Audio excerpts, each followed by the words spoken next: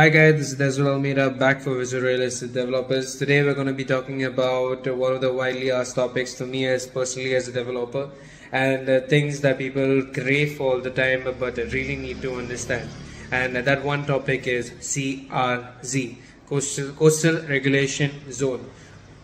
The problem is that a lot of people underestimate this respective zone just because they have uh, over and above uh, inflow of cash uh, and they're willing to spend so much, a lot maybe, but they really think that they can bypass these rules and regulations, and this is where a lot of people really get into trouble.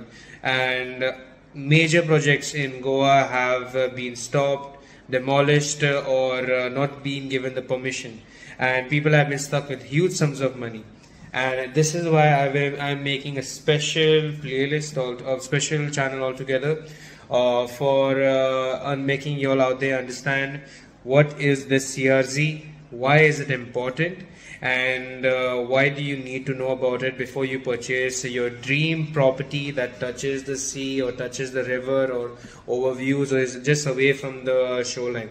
These are the things that you need to know and you need to understand and not uh, not underestimate before you purchase a plot that comes under this respective purview. So without much delay, let's begin today's video.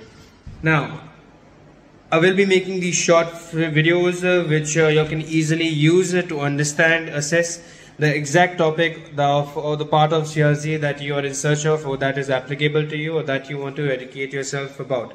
Uh, for today, I'm just going to be talking about a very small, brief history of, of uh, CRZ, so even you all can get a good idea.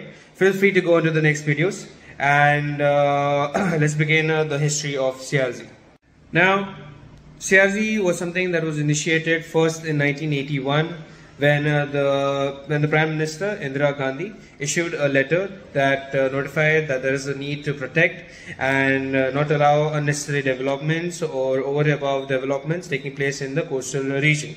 This is where the Minister of uh, Environment or the Environmental Minister uh, issued or processed the, the CRZ notification over the respective period and it was issued by the Ministry of uh, Environment and Forest under the Environmental Protection Act of 1986. Now in Goa it was well better formulated and uh, made applicable in the year 1991. Also fun fact, Goa has a coastal uh, line as, as you can see how Goa is and it's been famous for its beaches ever since.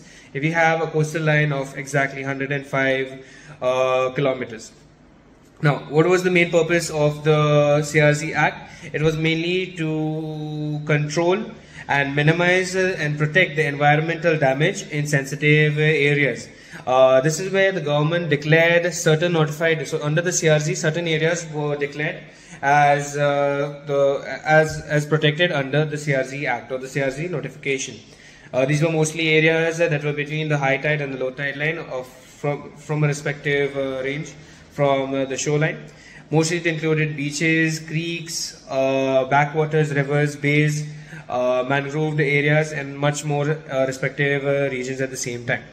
Uh, you will see much more of a breakdown of these what are, of what these regions are in the next upcoming videos. Now, the main aim was to make sure the, that the development in these respective region, regions were regulated and uh, you can say that CRZ has been in some way a product of the pressure of huge lobbies of construction who really tried to make sure that they were able to build more. However, uh, as you can see currently in Goa, that's still not been enough and uh, there's been a huge rise in illegal structures in the coastal regulation uh, zone. However, I assure you these are some things that will really come back uh, to catch you one day. If you feel that you've bypassed these respective rules and regulation, there's been a huge there's been a huge number of cases where these things have come back to you one day or the other. You may have the power and the money today if you feel, but uh, one day these rules will be the thing that will come back to you and bite you for the investments and uh, the bypasses that you did in that point of time.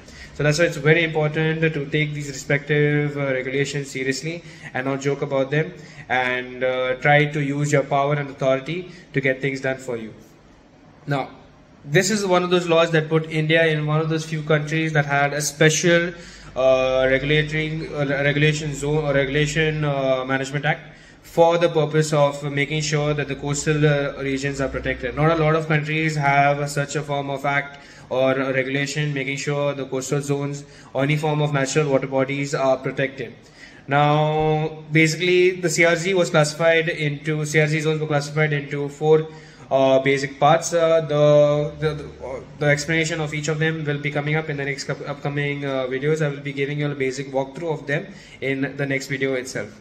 And uh, CRZ basically is one of those things that you need to understand, you need to respect, and if you're a person specifically this is specifically uh, trying to go up if you're a person who is coming from outside to Goa to invest in a property please do go ahead for it you're really making a difference to the economy over here. But at the end of it always respect the rules and regulation of what is happening the ecosystem over here.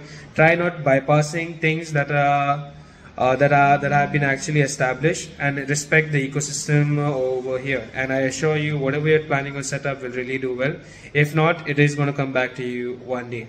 This is Desmond Mira signing out for Visão Real Estate Developers. I look forward for educating you all more and providing you all with more information. And I really look forward for you all checking out the next upcoming videos. Please do like, share, and subscribe and uh, feel free to share this content with the respective family and friends, whoever this content may be useful for. Thank you so much again. Uh, goodbye.